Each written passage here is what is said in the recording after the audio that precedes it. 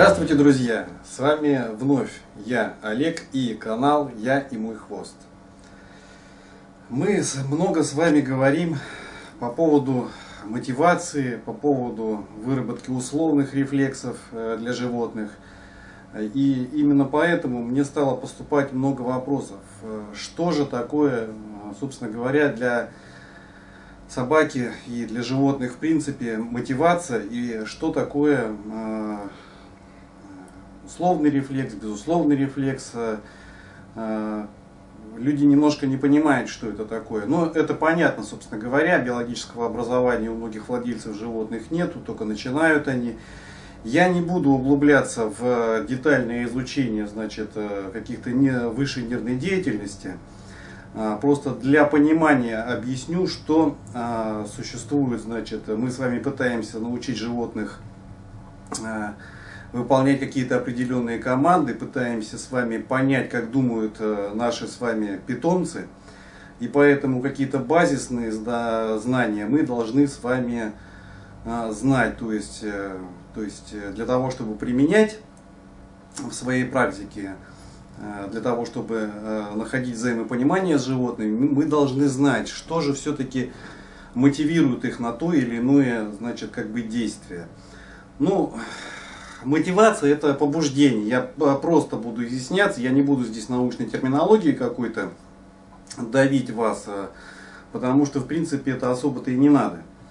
А, то есть мотивация это побуждение к выполнению э, поставленной той или иной вами задачи перед э, животным.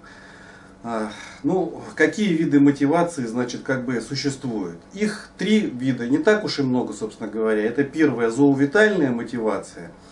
Ну, зоовитальная, смотрите, зоо по приставка это значит, как бы, что это животные. Вита это значит у нас э, жизнь.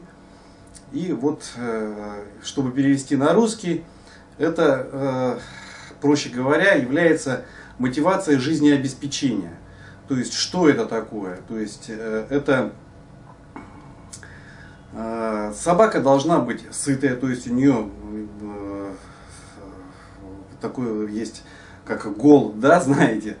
Вот, то есть она должна кушать, она должна спать, она должна пить что-то. Вот это и есть как бы зоовитальная мотивация.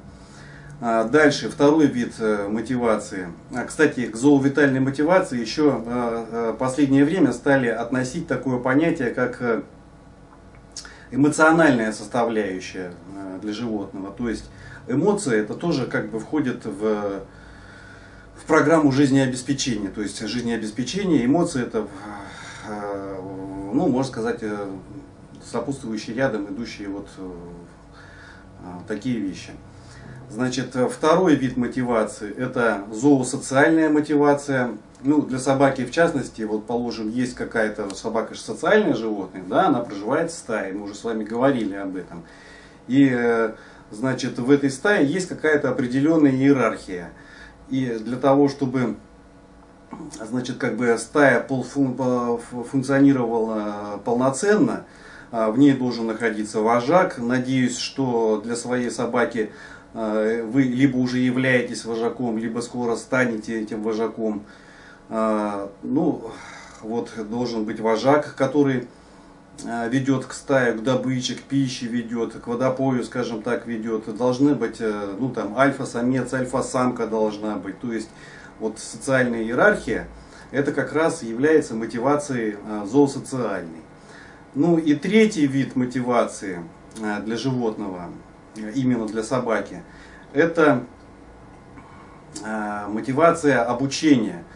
То есть в процессе игры, в процессе игры э, животное э, приобретает те или иные навыки. Ну, положим то, что в процессе игры щенята между собой пытаются укусить за шею, то есть нападают сверху, потому что это является более такое уязвимое место у всех остальных животных. В процессе игры они это а, понимать начинают, то есть откладывается у них в голове это. Вот, кстати, когда у них начинает откладываться в голове, это вырабатывается у них уже условные рефлексы. Мы так плавно с вами переходим сейчас на тему рефлексов. То есть, вот смотрите, есть условные рефлексы, есть безусловные рефлексы. Что такое безусловный рефлекс? Безусловный рефлекс это то, что матушка природа, скажем так, дала нашему животному, нам с вами. А, то есть, ну, например, при виде еды у нас вырабатывается слюна. Да, это является вот как раз безусловным рефлексом. Ну, ну вот все такие вот вещи, собственно говоря. Что такое безусловный? Как условный рефлекс, ну, звучит, скажем так, по-научному, но безусловный рефлекс – это стереотипная реакция организма на те или иные виды раздражителей. Вот, вот что значит у нас является как бы э, безусловным рефлексом. А что такое условный рефлекс? Условные рефлексы – это рефлексы, которые вырабатываются в процессе жизнедеятельности уже. Ну, что это? Какой пример можно привести? Ну, элементарный, вот тоже из биологии взять предмет, да, как, э, значит, э, все его знают, как загорается лампочка, в это время подается пища, значит, и у собаки уже при виде, э, по истечении циклов вот этих вот периодичных повторений, лампочка, еда, лампочка, еда, лампочка, еда, уже, значит, при загорании лампочки вырабатывается слюна. Так вот, для того, чтобы мы успешно понимали свое животное, для того, чтобы мы могли мотивировать его на тот или иной поступок, существует тоже ну, целая методика, конечно же говоря. То есть э, для, для выработки безусловного рефлекса, ну, например, команда там сидеть, лежать ко мне там, и так далее, а, должен быть ряд э, э, определенных обставлений вот это вот выполнения этой команды, скажем так. Например, это для э, выработки условного рефлекса определенного э, мы должны, вот с течение обстоятельств таких, это значит, как минимум это должны быть два каких-то раздражителя. Один из этих раздражителей это должен быть как бы э, безусловный раздражитель. Ну, например, еда, да? То есть мы команду, вот сиди сейчас опять с вами разго... Э, попробуем. Мы собачку садим, показываем ей еду, жест рукой, еда в, в, в руке, э, собачка видит еду, у нее происходит слюноотделение какое-то, мы говорим ей сидеть, да, то есть у нее происходит э, взаимосвязь между значит, голосовой командой сидеть, жестом рук, руки и э, подкормочкой, которая находится в этой руке. А, периодичность повторения, а, то есть э, за один цикл понятно, что у собаки условный рефлекс этот не выработается, то есть это нужно какой-то цикл повторений. Вот.